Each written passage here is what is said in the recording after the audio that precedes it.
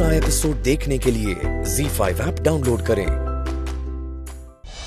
आपके चक्कर में मैंने मालिक को कहते कि मालकिन आई है और मालकिन पूरी मैडम की माँ है। मतलब पूरी मैडम मालिक की बेटी। है